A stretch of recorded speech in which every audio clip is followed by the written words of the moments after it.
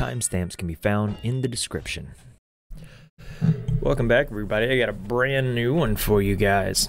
Today we're talking about Barbarian, which I went to go see with my friend, who you can find his channel for right here. It's Big Bruiser Gaming, my buddy Jacoby.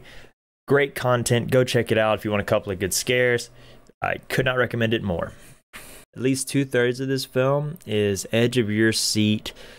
What's going to happen next? And that is what a lot of films in 2022 have been struggling to kind of pull off, or horror films have been trying to pull off, is just like keeping people on edge. And it almost wasn't made, apparently.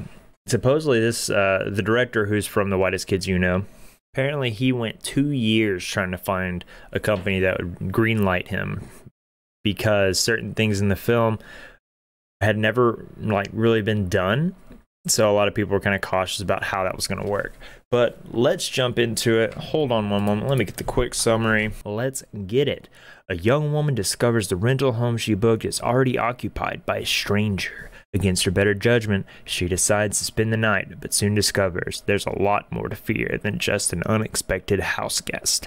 This film pulls in so many different ways in the beginning.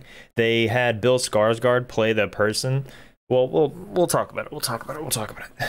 Let's jump right into the wiki and we'll break it down whenever we get there. It's relatively short, so we shouldn't have too many breaks in between. Tess Marshall books a remote home in a rundown neighborhood while staying in Detroit for a job interview. She is surprised to find the house is already occupied by a young man named Keith, who rented the property through a different app. With a storm raging outside and no hotel vacancies, Tess finds herself with no option but to spend the night in the house. Initially, Tess is unnerved by Keith's awkward and strange behavior, but she eventually warms up to him. That night, she notices her bedroom door has been opened and hears some moving around the house. She then sees Keith shaking and making strange sounds in his sleep. She then finds Keith shaking and making strange sounds in his sleep, so she goes to wake him. After another awkward encounter, Tess returns to her room and falls asleep. So this film opens up with a heavy rainfall as a woman's pulling in trying to use her Airbnb app to find the location of this home. Uh, it's really dark out, so she can't really tell any of the neighboring houses how they look. She pulls up to the she pulls up to the location it keeps showing her phone. Somebody keeps trying to hit her up and like asking where she is. It seems like she's fighting with somebody. That's all you really get from that. She's trying. She's pretty much ignoring somebody trying to talk to her. She gets the. She finally gets to the location. Uh, pushes the code in wrong. Has to run back to her card, get the right numbers, come back, types in the code correctly, and there's suddenly then there is no key to be found. She kind of gets annoyed, kind of freaking out a little bit, goes back to her car, and the second she hops into her car, you find that there is a light on. She makes her way to the front door and begins banging banging on it, and no one seems to answer for a while until Bill Skarsgård answers the front door. When Pennywise answers the front door, you're automatically they're using the they're using him as a free uh pretty much a free don't trust this guy just because of what he's played in the past and how he comes off. He comes off extremely awkward and they have a very like contested almost relationship in the very beginning of this film where she's being extremely careful. She's making sure not she's not drinking anything she he puts in front of her. He she uh, finds his wallet in her in the in the room where he uh, pretty much eventually allows her to take him trying to be an extremely like nice host if you will. Uh, says I'll take the I'll take the living room. Like I understand. Uh, have the room with the lock on it. It's completely fine.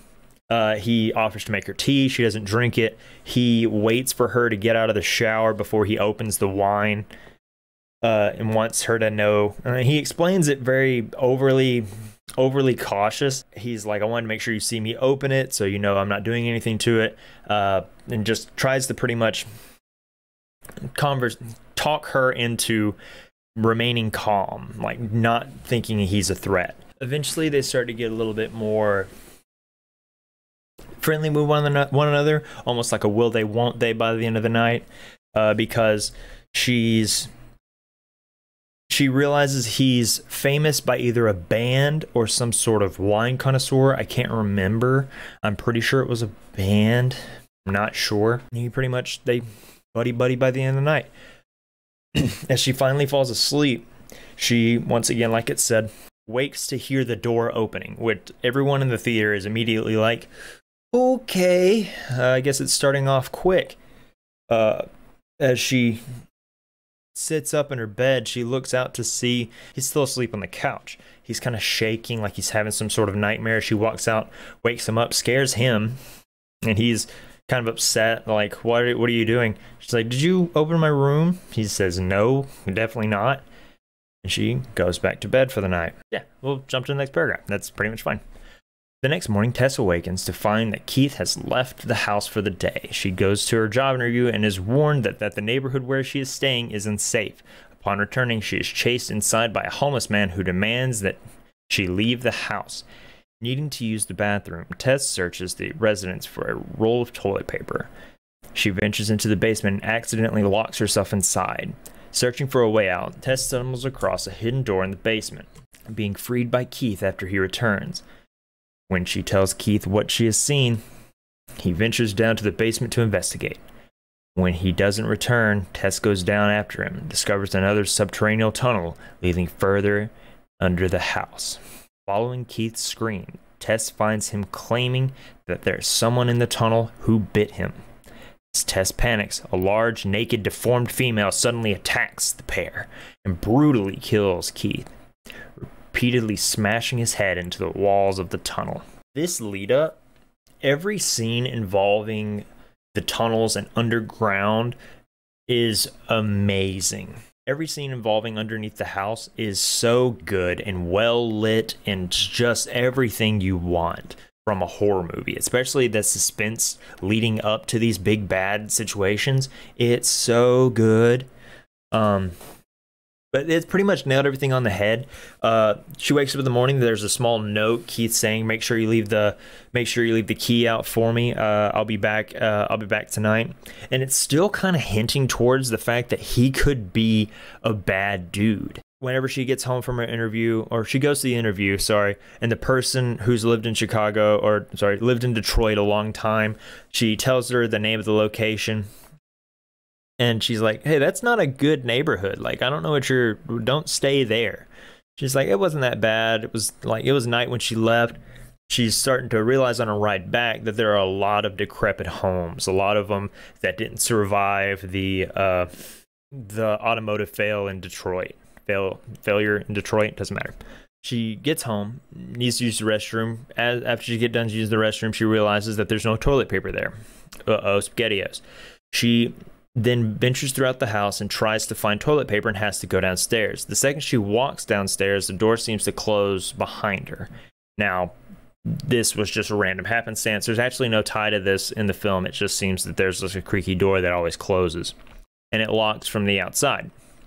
Uh, as she panics and tries to figure out what's going on, she moves a small toy and there seems to be a rope she begins to pull a rope and sees that there's a, a sectioning in her wall that moves and opens to show these underground tunnels. And immediately she acts like a normal freaking person would. Says, nope, sits on the thing, can kind of just waits for someone to get there. But eventually she kind of looks around and finds a mirror which she uses to use the use the uh, the hang down light and kind of bounce that down the hallway so she can see so she can see what's down there. As she walks a little bit further, she walks into this uh, she walks into this location as she turns to see a what can only be described as a smut location to where you can see there's only a bed, some blood on the wall in the bed, and a camera. When she's down there, they do a quick jump scare of somebody uh, knocking on the front door she runs out. There's a small window beneath the basement area. She begins to hammer on it to try to get Keith to notice her. He does. And this is a scene where you're kind of like, if he's bad, he's just going to leave her here and he has her what she he has what he wants. But once again, they tease that of like, all right, you push this way, I'll pull this way. Kind of keep hinting at the fact that any of any of the things he's saying could be played as a villain. He gets her out, gets the key, gets inside. She's beginning to pack up, saying, No, I gotta go. There's some sort of horrible chamber down there. We don't need to go anywhere near here. He walks downstairs, asks her to hold the door open for him so it doesn't close and lock him down there, which still is a red flag. Begins to walk downstairs and never returns. She begins to freak out, places something in front of the door, walks downstairs. She shouts for him. She's beginning to hear sounds further down the tunnels, pretty much saying, Tess, help, Tess, come here. As she walks a little bit further into the tunnel and sees that there's another set of there's another door at the very end of it. As she pushes to see that there are stairs that go even further down.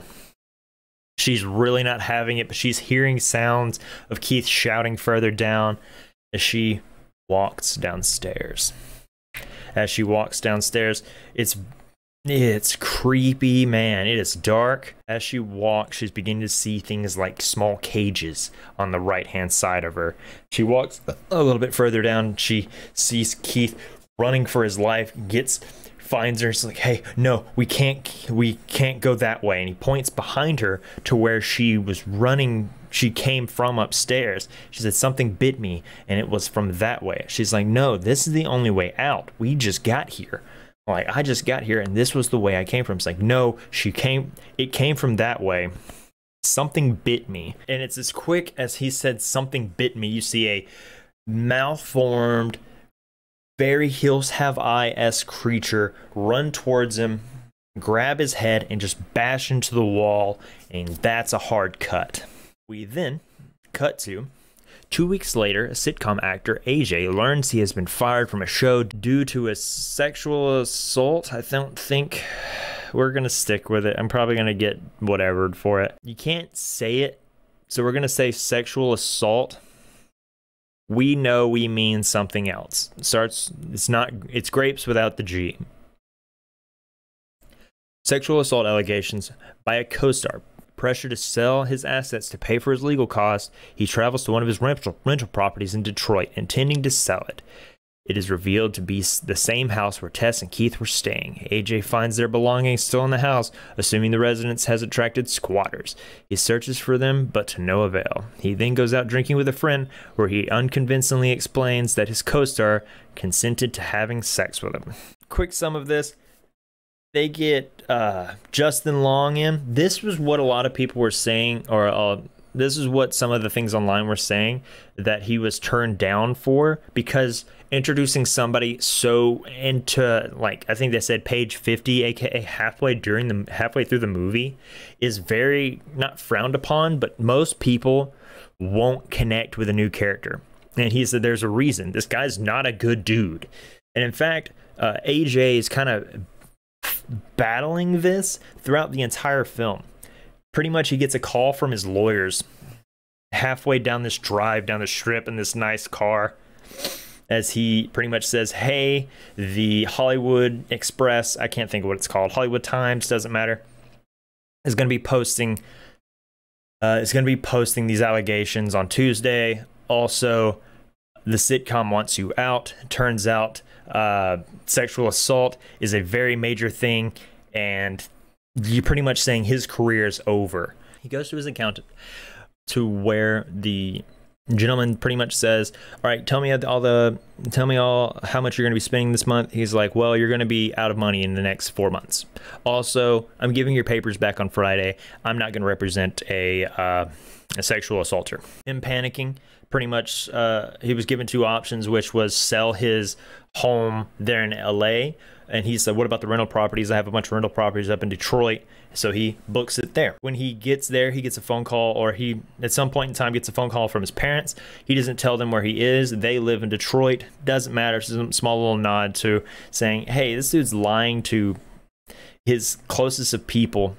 Uh, and even his parents aren't kind of believing that he he might not be in the right here. He finds her laptop. He finds her car out front. He thinks he has squatters. He goes in, kind of freaking out.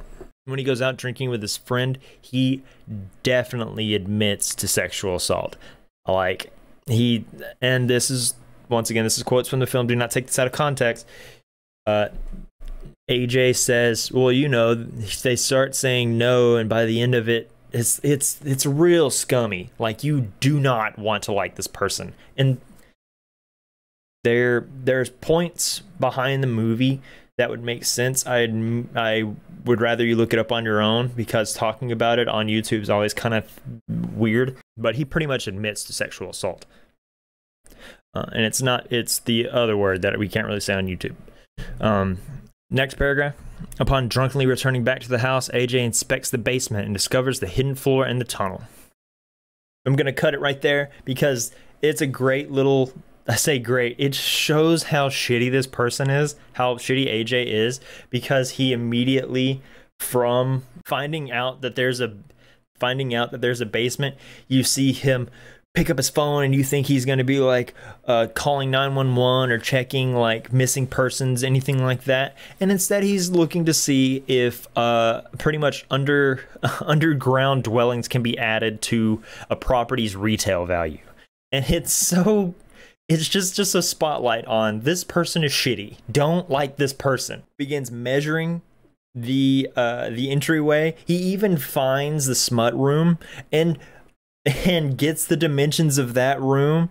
He goes a little bit further down the hall, finds the next door, and immediately says, Sweet, and keeps using this tape measure to see how much range he has. Oh, it's brilliant. Oh, it's so good. Um, all right, back to this. He finds a room containing a television playing a video about breastfeeding newborn children before being chased by a deformed woman. Fleeing, he falls into a pit alongside a still alive Tess. She tells AJ to stay calm and that the woman in the tunnel, referred to as the mother, wants them to act as her children. The mother forces Tess to drink milk from a bottle and tends to her. When AJ refuses, the mother drags him away to the TV room and forces him to breastfeed. It was so gross. But is one of the cringiest part of the film and besides that, like there's not a lot of like gross to it to the movie. Tess takes the opportunity to flee the basement and narrowly escapes the house with the help of Andre, the homeless man that she she was chased by earlier. Andre warns her to leave the neighborhood before it gets dark as the mother goes out hunting at night and berates her for wanting to go back to save AJ. Tess attempts to explain the situation to a pair of uh, to a pair of incredulous policemen, but they don't believe her. She's been down there for two weeks. She looks gross. She's covered in dirt and just grime.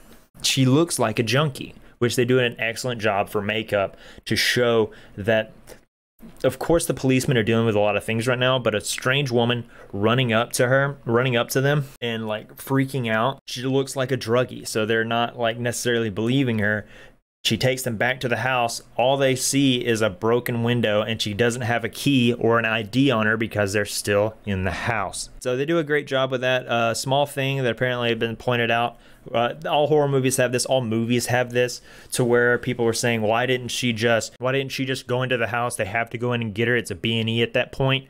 Or why didn't she hit the car? Them not knowing that it's hers.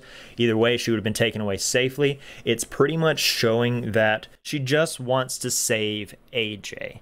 That is what the entire thing is. She wants to be a good person. She saw a good person die and is assuming that AJ is another renter. And so she wants to protect and save him. They do a great job with the mother. She looks gross, but it's excellent job. When she gets out of the house using the distraction of the mother taking away AJ, she gets out of the house. The homeless man that chased her down originally pulls her out, says, "Hey, get out of here." She she leaves the house at dark, and she uh, she's not even the worst thing down there. Besides that, it pretty much covers everything except for uh, it. The, when it mentions the room, there is just a pink room where it seems the mother stays, and it has a video on how to be how to breastfeed running on loop. It seems to be that this is all this woman's ever been able to watch. Uh, he says that woman's been down there for 40 years. A flashback to the 1980s shows the house's original owner, Frank, who stalked and abducted young women and held them captive in the tunnels, assaulting them and raising the su- and raising the subsequent children. Back to the present, while attempting to escape, AJ finds a room that the mother is seemingly afraid of.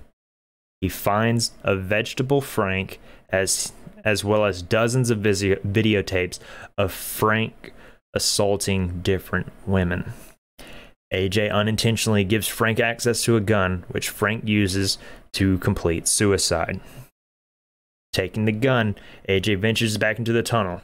Night falls, and the mother leaves the house to hunt down Tess. Tess, waiting in her car for the mother to leave the house, runs her over, pinning her to the house and seemingly killing her. Tess returns to the basement tunnel to find AJ, only to be accidentally shot by him in the darkness. The two escape the house with Frank's gun in tow. It pretty much covers everything except for uh, during the flashback sequence, Frank mentions the fact that I'm never leaving I'm not going to leave this neighborhood no matter what. I'm not leaving no matter what, which is hinted to. And then he goes to the room and sees Frank. They do an excellent shot of a, a the tunnels being darkly lit and the mother beginning to walk forward from the very peak of or the very edge of darkness seeing that he's on the seeing that he's at the father's door she backs away. He goes into the room. Frank's not able to say anything, but he keeps pointing over and he's like, Do you want water? And he like shoves it out the way barely.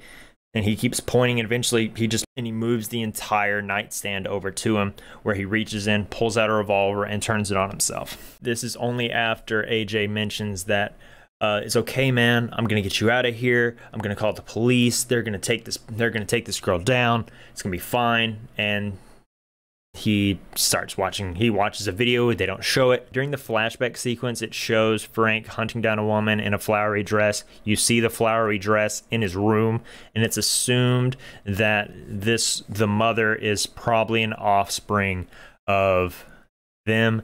Uh, final paragraph upon oh yeah uh we'll we'll cut back to that.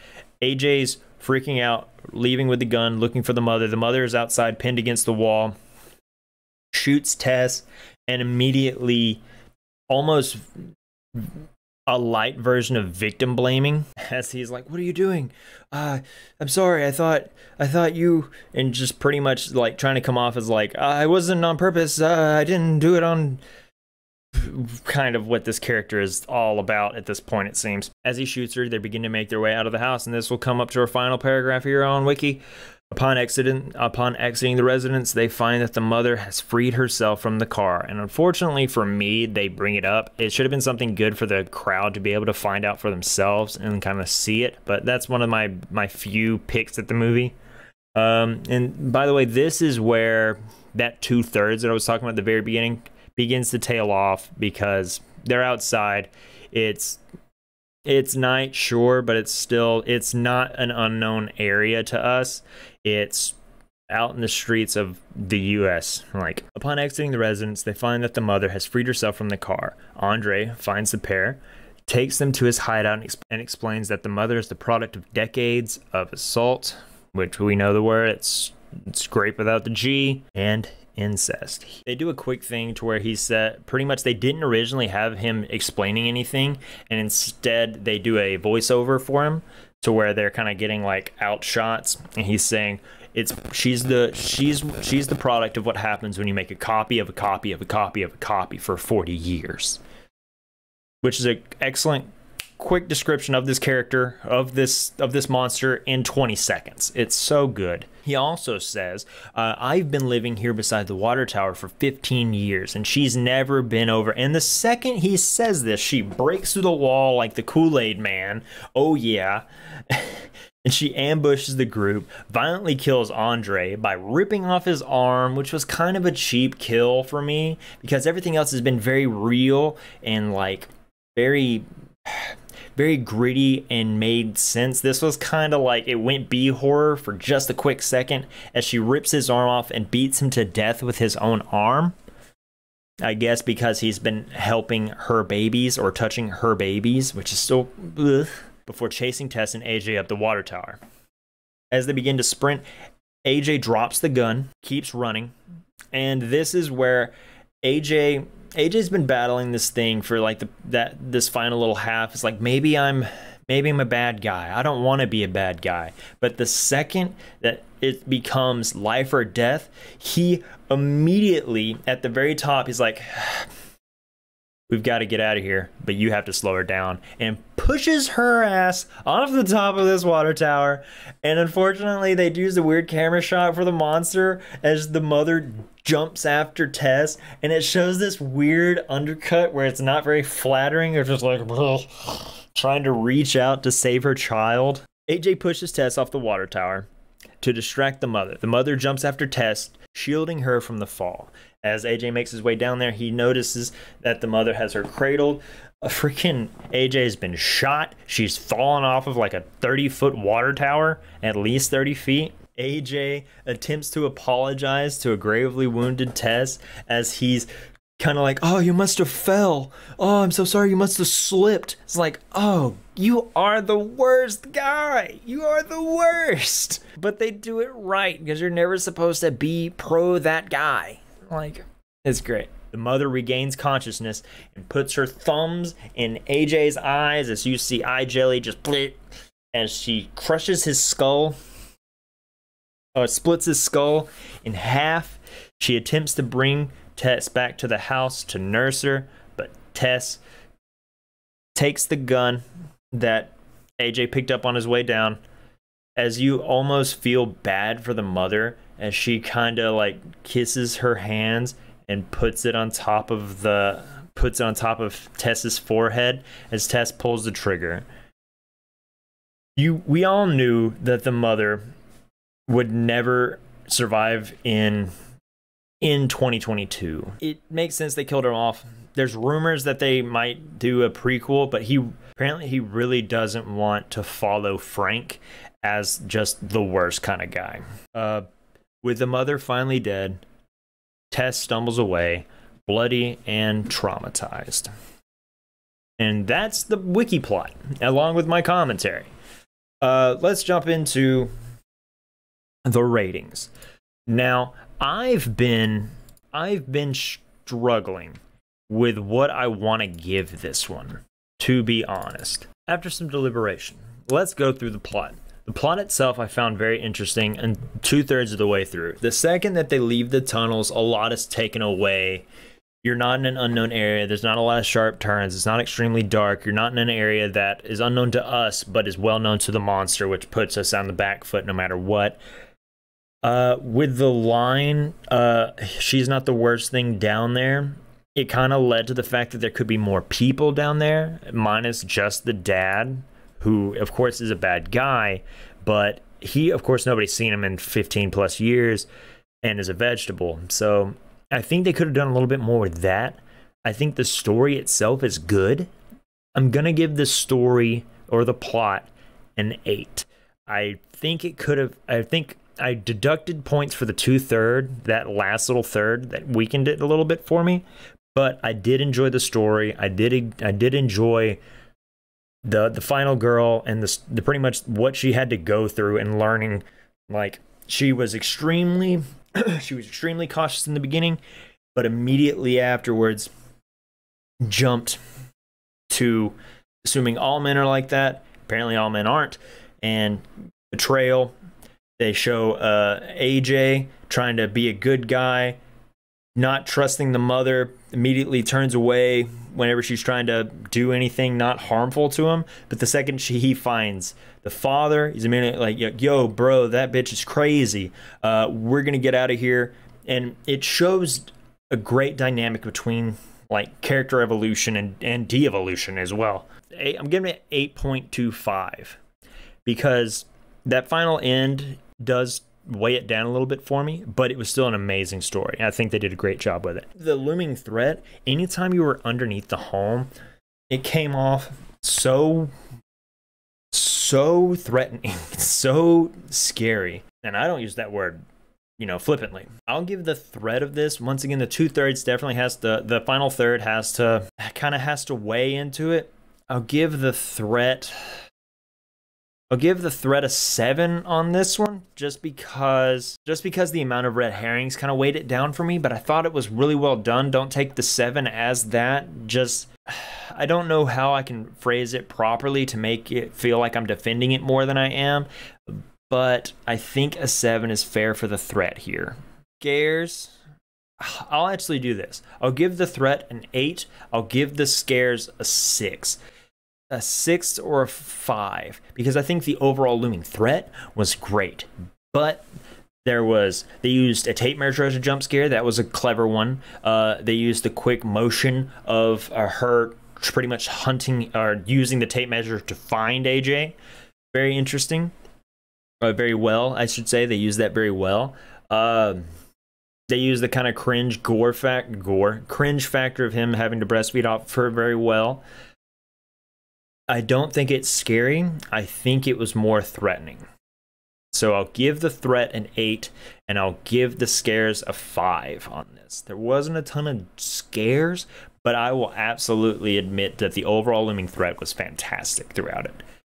This puts me at a predicament because I have to look at it as a whole now. Is it newbie approved? No. There is nudity, of course. Uh, some pretty gruesome gore, some kind of laughable gore with the arm rip. So it's not recommended for newbies, but do I recommend this film? I plan on buying it for Vudu. I do believe this is a good film and I do praise it and I will recommend it.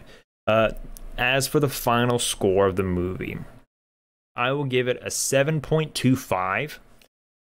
I thought it was a good film overall. I thought some of the things that it put forward were great.